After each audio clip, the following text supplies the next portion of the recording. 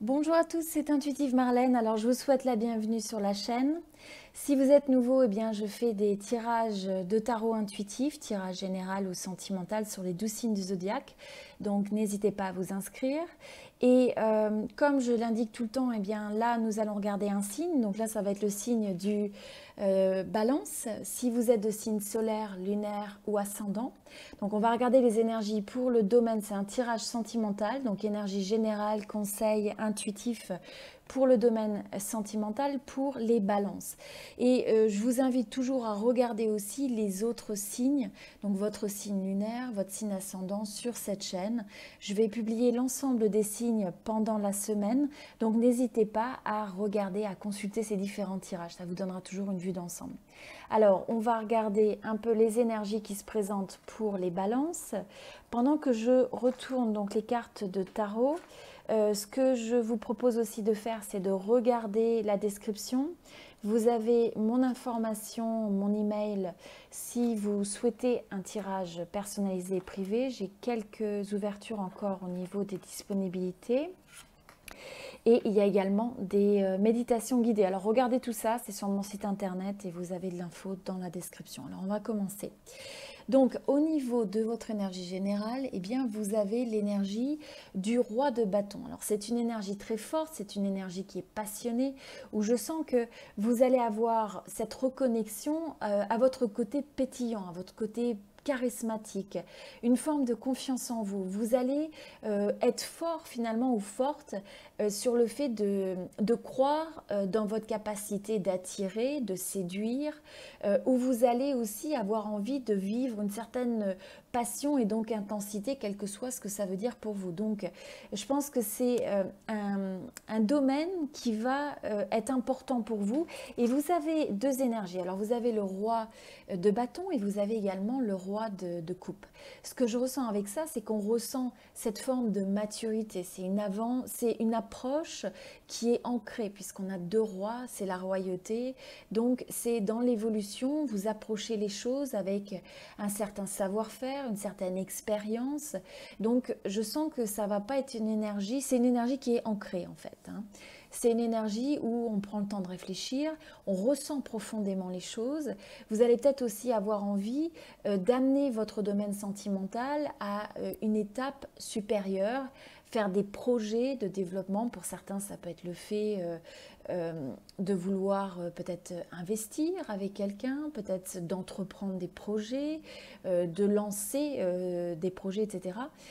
mais en tout cas, ce que je ressens, bon, même si c'est pas toujours évident, parce que vous voyez, vous avez quand même une mer qui est agitée, donc bien sûr, il y a le mouvement, ça ne veut pas dire qu'on ne peut pas ressentir des fois des émotions qui nous challenge, des émotions avec des hauts et des bas. Mais de manière générale, on sent que vous allez être dans une énergie où vous êtes capable de prendre le recul. Alors, ce que je ressens aussi, parce que vous avez le 12, ce qui est intéressant, là, le pendu se trouve renversé. D'habitude, je laisse les cartes euh, à l'endroit, donc je fais différents types de tirages. Mais là, j'ai décidé de le garder. Parce que ce que je ressens, c'est le fait que c'est le symbole et le signe que vous avez pu peut-être avoir une forme de période euh, où vous vous êtes euh, peut-être senti bloqué, où vous avez pris une forme de pause dans le domaine sentimental. C'est-à-dire, même si vous êtes dans une relation ou pas, c'est votre approche. Vous vous êtes peut-être posé des questions, vous avez eu envie de faire mûrir les choses. Euh, vous aviez peut-être envie de, voir plus clair. Et euh, en fait, dans cette période, ce qu'on voit, c'est que vous avez cette forme d'illumination, cette forme d'éclaircissement peut-être sur quelque chose. Donc, euh, fort de ça, vous êtes capable maintenant d'avoir une énergie qui est beaucoup plus forte, beaucoup plus ancrée sur savoir ce que vous voulez quelque part ou ce à quoi vous aspirez. Et donc, vous êtes connecté très fortement à ce que vous ressentez. Hein. Donc là, ce que je vois aussi, c'est que vous avez euh, le 7 euh, de coupe.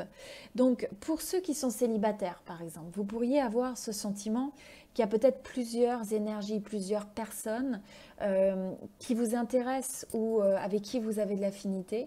Et donc là, il va falloir faire preuve de, discernement, justement en vous connectant à cette énergie ancrée à bien rechercher qu'est-ce qui vous passionne, qu'est-ce qui est en alignement avec ce que vous voulez dans la vie, avec peut-être vos projets, avec votre vision, et aussi à ce que vous ressentez. Est-ce que c'est euh, une connexion? Est-ce que c'est un rapport à l'autre qui vous permet de vous sentir ancré? Donc, euh, pour d'autres aussi, ça peut être le fait que ce sont des opportunités dans le domaine euh, personnel, professionnel, qui peuvent avoir un impact sur votre relation actuelle. Et donc là, même chose, c'est d'arriver à discerner, à identifier si ces euh, nouvelles opportunités sont positives, sont bénéfiques pour vous. Parce que vous voyez, l'ensemble de ces opportunités, il y en a certaines qui sont très favorables. Vous pouvez trouver un trésor, vous trouvez la réussite. Et pour d'autres, vous pouvez trouver un serpent, vous pouvez trouver euh, des choses qui vont finalement ne pas être exactement ce que vous attendez. Donc ça peut être des formes de château de sable, ça peut être quelque chose qui impacte soit positivement ou négativement votre relation. Donc il va falloir avoir finalement cette forme de recul, cette forme de, euh, de prendre le temps. De, d'agir en même temps, vous voyez, vous sortez d'une énergie où là, il n'y a plus à procrastiner, à rester bloqué et à ne pas prendre action, mais c'est plutôt le fait de discerner les choses et ensuite d'être capable d'aller vers cette énergie du 2. Alors, dans l'énergie du 2, ce que je ressens, c'est que si vous êtes déjà dans une relation, parce que vous avez déjà un premier bâton qui est planté, eh bien, il y a une forme de développement avec ce deuxième bâton qui arrive. Euh, au travers de nouveaux projets, nouveaux plans, nouveaux objectifs. Vous aurez peut-être euh, des discussions avec euh, votre personne qui peuvent évoquer peut-être explorer de nouveaux horizons dans de nouveaux projets, de nouveaux, peut-être un changement géographique. Vous pouvez considérer, vous voyez, vous avez le côté international ou changement de région. Mais ce sont des, j'ai envie de dire, des discussions, des projets qu'il est favorable de, stimuler parce que vous voyez, euh, vous avez ces potentiels derrière. Ça peut permettre de faire, de développer les choses. Vous avez ces petites pousses que vous voyez.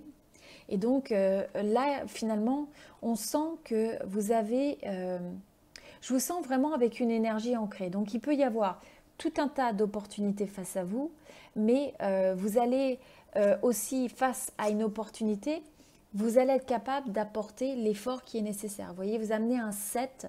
Le 7, c'est que euh, le tout, c'est de discerner euh, ce, qui est, euh, ce qui vous correspond. Et en passant par cette phase de, planning, de réflexion, d'anticipation, de, de, comprendre finalement, de visualiser ce que ça peut représenter pour vous, eh bien, vous êtes capable de peut-être mieux cerner les choses.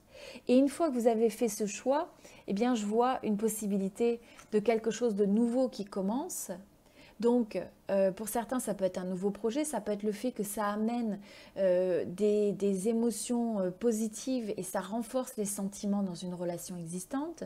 Pour certains, ça peut être le fait qu'il y a cette nouvelle, un nouvel amour qui commence. Il y avait peut-être différentes énergies et finalement, il y a le choix d'une personne avec donc pour ceux où c'est une connexion comme une rencontre ou euh, ça peut être une personne que vous connaissez déjà. Vous avez aussi le 6 qui ressort, donc ça peut être une personne du passé qui refait surface et euh, où il y a quelque chose qui commence. Et ça peut être quelque chose de progressif, hein, mais euh, en même temps, c'est quelque chose où cette personne stimule quelque chose de fort à l'intérieur de vous, où il y a beaucoup d'émotions qui débordent hein, face à cette personne. Ça peut être aussi quelqu'un que vous rencontrez et qui euh, vous apparaît comme étant une âme sœur. Il y a cette forme de complicité, de connexion qui est vraiment, qui semble être pure, où il n'y a pas de jeu, euh, euh, il n'y a pas de mind games, il n'y a pas de, il n'y a pas d'agenda quelque part. On, a juste envie de passer un bon moment connecté avec l'autre. On a l'impression qu'il y a des aspirations qui sont sincères, des sentiments qui sont sincères. Mais en même temps, il y a quand même une notion de choix qui ressort hein, avec le 6. Donc il va y avoir des choix à faire, il va y avoir le besoin, il va y avoir cette énergie d'ancrer les choses, soit avec quelqu'un, soit dans le fait d'avoir euh, des objectifs, euh, d'éclaircir et de sortir finalement de trop de choix sur euh, des projets ou des personnes qui peuvent amener une forme éventuellement de dilemme ou euh, parce que vous manquez de visibilité ou peut-être parce que vous hésitez sur euh, deux personnes, deux projets, deux possibilités, deux chemins. Eh bien, ça peut vous tenir dans une énergie, ça pourrait vous tenir dans une énergie de blocage. Donc là, le conseil, hein, c'est de débloquer ces énergies. Le moment est passé quelque part, le moment est venu de, s'investir, hein, de faire des choix, d'y croire. Avec la carte du 7 aussi de, Denis, ce que je ressens, c'est le fait que vous avez envie de travailler sur vous-même, vous avez envie de donner le meilleur de vous-même. Vous êtes prêt à faire cet effort, vous avez cette forme de détermination. Ce que je ressens, c'est aussi le fait que vous êtes conscient qu'une relation, ça ne se construit pas du jour au lendemain, c'est progressif. Donc il est nécessaire finalement d'injecter cette bonne volonté au travers de vos actions, au travers de vos paroles, de vos pensées et aussi de vos choix et qu'il faut laisser le temps aux choses. Mais en tout cas, ce qui vous appartient, c'est d'amener la meilleure énergie finalement face à, cette, à une relation existante ou euh, nouvelle relation. Au niveau de l'oracle de la triade, alors vous avez la carte de l'épreuve, vous avez la carte du 17 avec l'énergie et vous avez la carte euh, du silence. Ce que je ressens par rapport à ça, c'est que pour certains, vous auriez pu vous trouver dans une situation, vous pourriez euh, être face à une situation où euh, euh, vous n'avez pas de communication, il y a un manque d'échange, de, il y a un manque de... Vous pouvez être dans une situation de silence avec quelqu'un, donc un no contact, pas de communication, vous attendez des nouvelles de quelqu'un, vous n'avez pas de réponse, euh, ou vous avez souffert de ça dans le passé, ça vous a mis dans une forme de, euh, de blocage. Ça peut être aussi le fait que vous ne, si vous ne dites pas ce que vous ressentez, si vous n'exprimez pas ce que vous ressentez, et ça peut représenter pour vous une épreuve parfois de dire exactement ce que vous voulez, d'exprimer ce qui est au plus profond de vous-même, de vous retrouver presque dans une situation où finalement bah, vous ne trouvez pas les mots, vous ne trouvez pas euh, les mots justes. Et donc cette énergie-là, quelque part, il faut faire attention que ce soit une énergie euh, qui n'amène pas des épreuves et du blocage. Donc euh, c'est aussi ce que je ressens, c'est que si vous avez une énergie où vous avez l'impression que vous êtes mis à l'épreuve, eh bien euh, ça peut être aussi le fait de prendre du recul sur les choses, de prendre de la perspective, de ne pas réagir à chaud. Alors au niveau des carte euh, pour le cristal. Alors vous avez euh, la carte des nouveaux commencements. Donc vous voyez, c'est et même si c'est dans une relation existante, c'est on a l'impression qu'il y a une nouvelle phase, il y a une nouvelle énergie que vous injectez dans le domaine sentimental. Vous êtes prêt à donner le meilleur de vous-même. Vous êtes prêt à évaluer de nouveaux projets, de nouvelles possibilités pour certaines nouvelles personnes.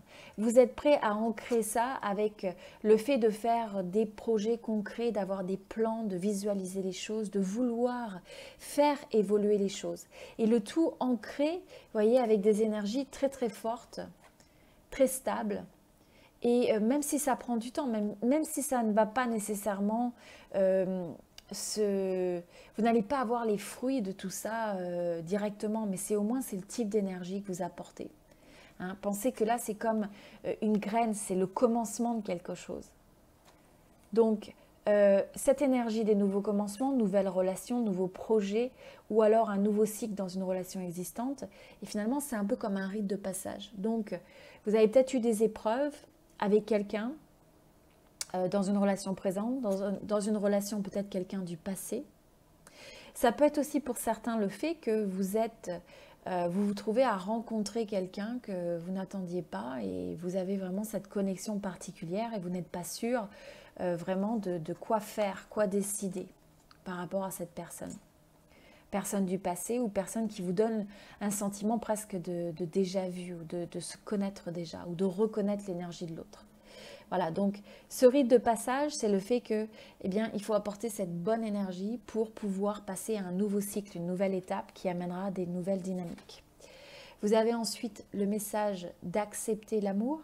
Donc là, c'est finalement, on sent que vous allez être ouvert. Hein. Vous ouvrez ce robinet de l'amour. Vous laissez, il faut laisser flower ces émotions. Il ne faut pas les mettre le silence dessus. Il faut être capable de communiquer, de les exprimer, euh, de les partager avec l'autre.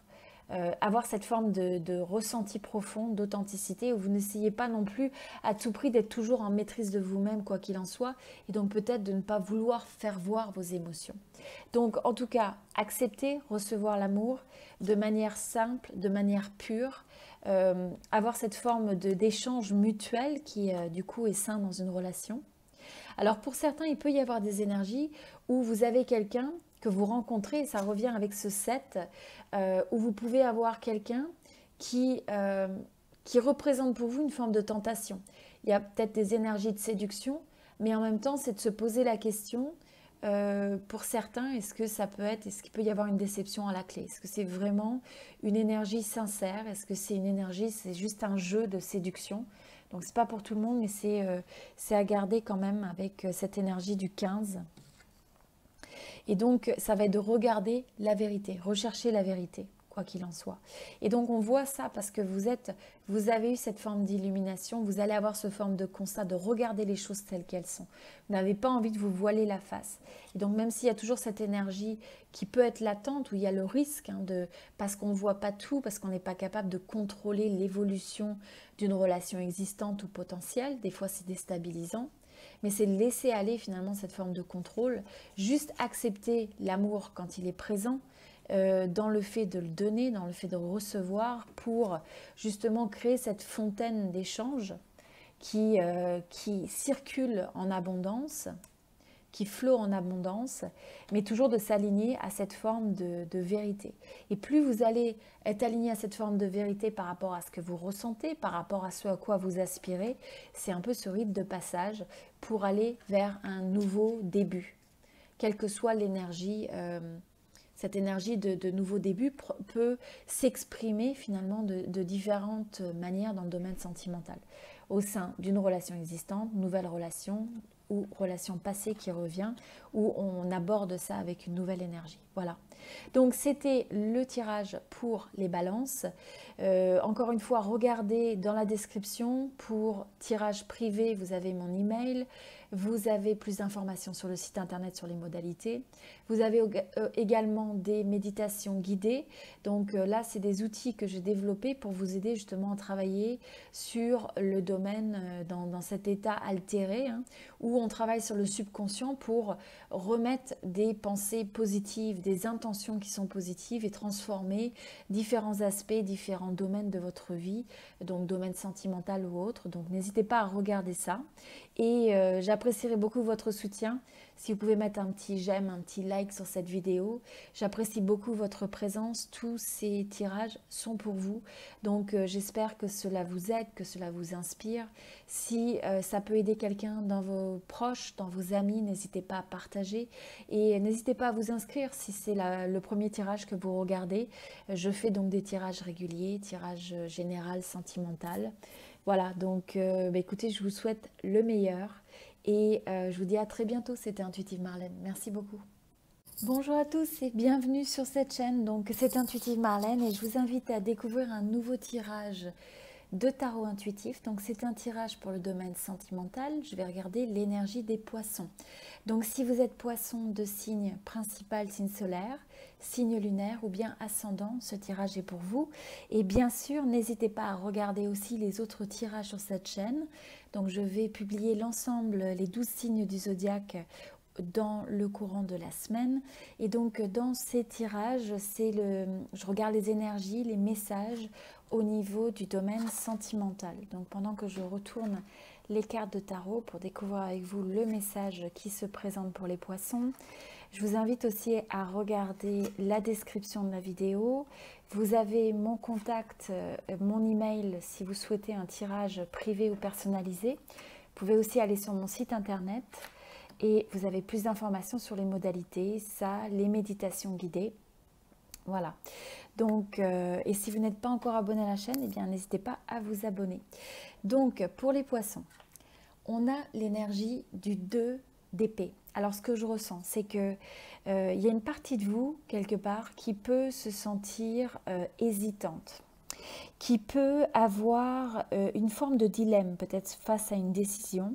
Ça peut être par rapport à deux personnes. Vous avez à choisir entre deux personnes, deux situations, deux chemins différents. Et donc, euh, je ressens que sur cette période, il peut y avoir un moment où il y a des, questions, il y a une forme peut-être d'inconfort ou d'insécurité, parce que vous, vous manquez de vision sur euh, face à l'incertitude.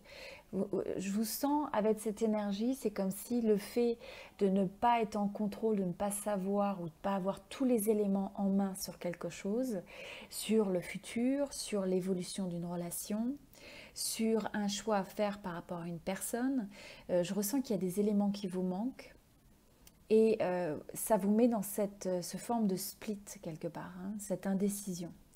Donc, ce qui va être important là, c'est de retrouver l'énergie de la solidité en se connectant à l'intérieur de vous-même. Hein. Donc aussi le bandeau, c'est la marque quelque part, il ne faut pas chercher la, solution euh, chez l'autre ou à l'extérieur de vous-même, mais plutôt de vous fier à votre intuition, votre voix intérieure. Peut-être des fois prendre le moment de pause, euh, essayer finalement d'accepter cette forme des fois d'incertitude, d'accepter le fait que les décisions ne sont pas toujours faciles à prendre, et euh, de comprendre que c'est quelque chose de, temporaire ou euh, qui marque juste, c'est une, phase temporaire et donc qui est appelée à changer à un moment donné. Donc regardez s'il y a cette énergie peut-être euh, sur cette période d'indécision, de choix à faire, de manque de visibilité sur une hésitation entre deux personnes, deux chemins, deux possibilités. Alors, je ressens aussi que pour certains, il peut y avoir euh, justement cette forme d'indécision ou de difficulté à faire un choix est ancrée dans le fait qu'il y, a des choses qui sont non dites dans une relation existante ou dans une relation potentielle. Donc ça pourrait être que vous n'avez pas exprimé tout ce que vous ressentez à quelqu'un. Ça peut être le fait que vous pressentez par rapport à euh, une personne en particulier avec qui vous êtes en relation ou non, qu'il y a des choses qui sont cachées, qu'il y a des choses qui ne sont pas révélées. Et donc euh, là, finalement, le fait d'arriver à révéler, à voir ces choses au grand jour, à exprimer les choses ouvertement, c'est ce qui vous permet de sortir de cette, euh, euh, de cette énergie un peu stagnante, de stagnation, parce que finalement, une forme de, de blocage, de ne pas arriver à décider euh, et, en même temps, je ressens qu'il y a peut-être beaucoup de questionnements, il y a beaucoup de, de réflexions, d'analyses par rapport à ça. Donc, euh, là, encore une fois, c'est aussi la carte avec ça. Vous voyez, on a encore une fois la lune. Donc, c'est toujours de se connecter à l'intérieur de vous, écouter vraiment qu'est-ce que votre cœur vous dit. Qu'est-ce que, euh, est-ce que vous avez une petite voix à l'intérieur de vous qui vous dit, qui vous guide quelque part, qui vous amène soit à des questions, euh, soit qui euh, vous guide d'une certaine manière à vous amener à, révéler, à ce que des choses soient révélées. Et donc révéler, c'est pas toujours, euh, c'est pas dans le sens nécessairement négatif, ça peut l'être, des choses qu'on cache, mais ça peut être aussi, ça peut être aussi simplement des, des choses positives qui ont besoin d'être exprimées. Donc ce que je ressens aussi peut-être pour certains, euh, ça peut être une relation qui, dans une certaine mesure, est cachée, n'est pas révélée au, grand jour. Ok, alors ensuite, vous avez l'énergie euh, du magicien. Donc là, c'est le fait que vous comprenez que vous êtes le créateur. Hein. Vous créez votre expérience, vous co-créez constamment dans votre rapport à l'autre. Et donc, vous, vous, avez une partie de l'équation qui est critique hein, quand vous êtes euh, dans une, une, nouvelle relation, une relation existante, etc. Vous euh, contribuez de manière importante, à hauteur en moins de 50%, de, euh, de la manière dont les choses vont se dérouler. Et donc, c'est un peu cette je ressens que, alors je ne sais pas pourquoi, cette fois-ci, j'ai vraiment le fait d'être attirée, vous voyez, par ce, cette forme de, serpent qui ressemble en fait au, signe du retour, hein, là dans l'oracle de la triade. Ce que je ressens avec ça, c'est que euh, pour certains, vous pourriez essayer de manifester ou d'essayer euh, d'avoir le retour de quelqu'un que vous aimez. Et donc, il y a un peu ces énergies. Alors, soit vous essayez de, voir, euh, comme je disais, manifester, prendre des actions qui amèneraient en fait cette personne à revenir. On a presque aussi avec l'énergie du magicien, presque l'utilisation de la magie ou des affirmations, mais ça c'est pas pour tout le monde, mais je ressens euh, cette énergie un petit peu euh, euh, mystique, cachée pour certains. Hein.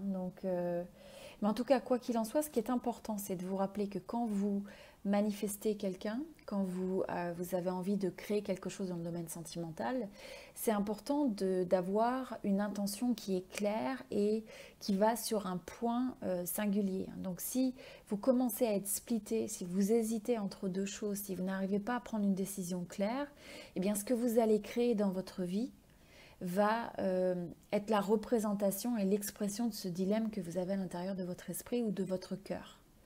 Donc, c'est pour ça que là, ça va être important d'avoir cette forme de clarté, euh, parce que sinon, la confusion, le fait de cacher, eh bien, c'est un peu comme si vous, euh, avez le risque sinon d'engendrer davantage de cette énergie et de cette expérience dans votre vie. Alors ensuite, vous avez le 9. Donc, euh, je pense qu'il va y avoir beaucoup de réflexion, il y a, un questionnement, il y a, il y a, une recherche de réponses par rapport aussi, euh, je ressens par rapport au domaine sentimental presque dans votre vie, où est-ce que vous en êtes dans votre parcours de vie? Euh, À quoi vous aspirez vraiment? Est-ce que vous êtes vraiment aligné avec ce que vous vivez si vous êtes dans une relation?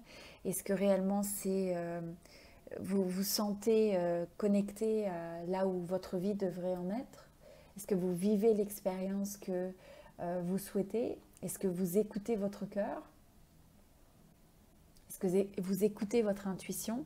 Et donc là, je pense que ça va être important de prendre un moment pour vous. Euh, et je ressens, c'est le fait de prendre un moment pour vous pour réfléchir sur votre domaine sentimental. Il y a peut-être des choses que vous voulez améliorer, des choses que vous voulez changer, des choses que vous voulez attirer dans votre vie, créer dans votre vie, dans le domaine sentimental, dans une relation potentielle ou existante. Et là, alors pour certains, c'est le fait que vous allez rester un peu ancré dans une énergie solitaire et célibataire et que c'est quelque chose qui vous convient parce que vous cherchez la lumière, vous cherchez la clarté avant de vous engager euh, vers l'autre. Donc ça, ça peut être euh, pour certains le chemin que vous prenez. Pour d'autres, c'est que même si vous êtes dans une relation, ça va être important d'avoir ce moment pour vous. Ou si vous cherchez par exemple du conseil, euh, faites attention au conseil extérieur, que ce soit un conseil qui, qui, est une forme de sagesse, qui est une forme de clarté qui vous aide vraiment à avancer et à évoluer. Donc euh, là, je ressens quand même que c'est presque favorable que vous alliez, vous ayez presque ce dialogue intérieur avec vous-même, vos sentiments, votre cœur, pour savoir, ok, qu'est-ce que vous voulez vraiment.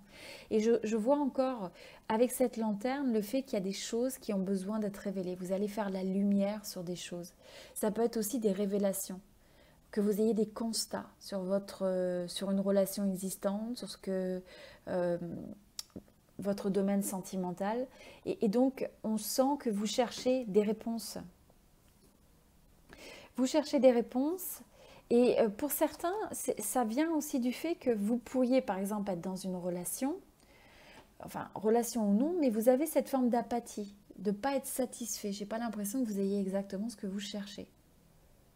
Ou si vous êtes célibataire, vous n'avez pas l'impression que les gens qui, euh, qui croisent votre chemin viennent vraiment vous chercher de manière euh, profonde et que ça ne correspond pas forcément à cette image euh, un peu idéale que vous avez avec le 10 de coupe. Alors là où il faut faire attention, il, faut, il y aura une recherche de réponse, il y aura peut-être un questionnement sur euh, votre relation existante ou un questionnement sur ce que vous souhaiteriez. Et en même temps, bon, il faut être sélectif, il faut avoir cette, cette forme de discernement, il faut savoir aussi dire non, savoir s'écouter soi-même écoutez finalement, est-ce que vous avez de la joie, est-ce que vous avez du bonheur, est-ce que vous avez euh, du bien-être, être à l'écoute de ça comme étant un indicateur, puisque quand vous allez vraiment écouter ça, eh bien vous allez vers une énergie qui vous ancre hein, quand même avec le 4. Alors ce que je ressens aussi que pour certains, faire attention de ne pas avoir trop un idéal euh, presque avoir une checklist hein, de, tout ce que vous souhaiteriez avoir chez l'autre, euh, euh, la personne idéale de manière physique, l'intellectuel, etc. Et, de presque se trouver pris au piège parce que vous aspirez à quelque chose de tellement complexe, compliqué, ou alors vous êtes un peu rigide. Il faut faire attention à ne pas devenir rigide sur le fait que vous attendez cette relation parfaite, cette personne idéale et parfaite. Et donc finalement, à chaque fois que quelque chose se présente, eh bien ça semble, vous n'en voulez pas parce que tout semble tellement en décalage, parce que vous avez euh, des attentes qui sont trop élevées. Et à la place, c'est de comprendre que des fois, il y a une opportunité qui peut se présenter Mais ça demande de comprendre que c'est comme une nouvelle graine, c'est quelque chose qu'il faut faire grandir. Donc il peut y avoir, euh, il peut y avoir cette étincelle, mais il faut laisser le temps aux choses. Il faut prendre son pouvoir de créateur et amener euh, le développement au quotidien. Mais je pense que faites attention de, de, vous dire, bon, vous pouvez créer, avoir cet idéal qui est présent dans votre vision, mais pas quelque chose qui vous rende insatisfait euh, parce que finalement rien ne semble être assez euh, bon, assez bien. juste faire attention à cette énergie-là. Mais alors pour certains, il peut y avoir aussi une nouvelle opportunité dans le domaine professionnel. Alors pour certains, ça peut être le fait d'avoir une rencontre qui est reliée au domaine professionnel. Pour certains, c'est le fait que sur la carrière, il peut y avoir une nouvelle offre. Alors, où vous pourriez soit renoncer à une relation sentimentale, ou alors vous allez renoncer à l'offre justement à cause euh, euh, d'une relation existante ou potentielle. Alors, au niveau des challenges, vous avez, euh, non, des opportunités, excusez-moi, c'est le 18. Alors, vous avez la lune ce que je ressens, c'est que c'est une période où euh, vous allez potentiellement avoir beaucoup euh, d'émotions, de choses qui étaient non dites, qui étaient non révélées, qui étaient cachées. Encore une fois, hein, ça, ça fait un peu écho à ça. Le fait de manquer de visibilité sur certaines choses. Et je pense que les choses vont se révéler. Et donc parfois, ça peut être des choses qui vont vous paraître en décalage entre ce que vous, euh, peut-être ce que vous croyez et ce qui est vraiment. Ça peut être aussi le fait d'être capable de voir, euh, d'avoir cette perception très lucide, où vous êtes capable de voir l'autre ou la situation à travers euh, le masque, au-delà des apparences, au-delà du voile, et notamment au-delà du voile de l'illusion. Donc vous allez être capable de voir clairement les choses. Vous allez, être capable de percevoir. Je sens vraiment votre force d'ailleurs de poisson hein, avec euh, toute cette énergie de l'eau et avec cette capacité de percevoir intuitivement les choses, l'autre.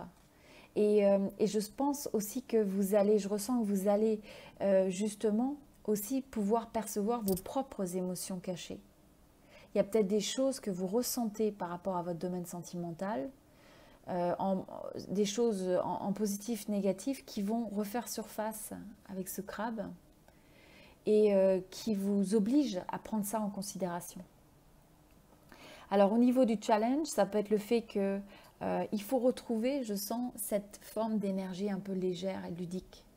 Hein, être capable de peut-être euh, euh, avoir cette forme, retrouver cette forme d'insouciance, de créativité dans le domaine sentimental. Si vous êtes dans une relation existante, eh bien, comment est-ce que vous pouvez faire preuve peut-être de prendre un certain nombre d'actions qui permettent d'avoir des moments romantiques, euh, de faire des choses différemment de, la manière dont vous les avez faites jusqu'à présent. Euh, des sorties, euh, le fait de d'oser aussi partager ses sentiments, d'oser partager ce que vous ressentez, ressentir. Et, aussi, c'est le fait de ne pas chercher la perfection, en fait. Hein. C'est d'être spontané. Intéressant.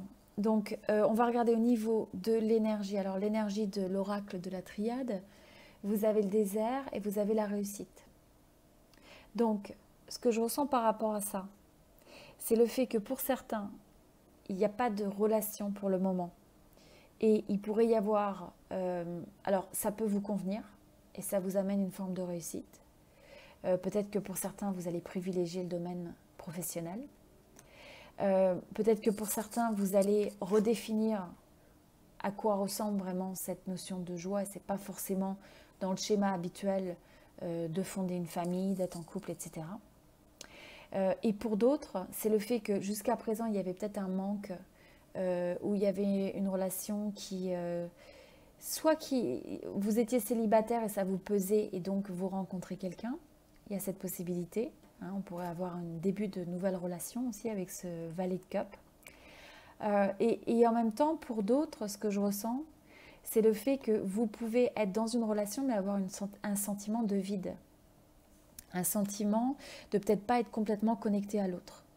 Et donc euh, là, euh, ce qui va vous apporter la réussite, ce que je ressens, c'est le fait d'aller vraiment au fond de vous-même, dans cette introspection, dans l'écoute vraiment de ce que vous recherchez, et ensuite d'être capable euh, finalement de prendre votre force, d'entreprendre, d'agir, de faire des choix, des choix qui sont clairs, qui vous enlèvent d'une forme de confusion. Donc différents messages dépendamment de votre résonance et de votre situation. Alors les messages suivants, vous voyez, on a encore le choix. Donc euh, là, ça revient encore avec possibilité de choisir entre euh, deux choses, deux personnes, deux projets, deux chemins.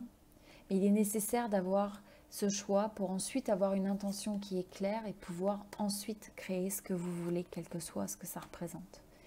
Et vous voyez, en ayant ce choix, vous allez pouvoir créer l'harmonie parce que vous allez réconcilier les aspects du yin et du yang, euh, les, euh, les, aspects euh, qui sont peut-être en, en, polarité quelque part, en dualité à l'intérieur de vous.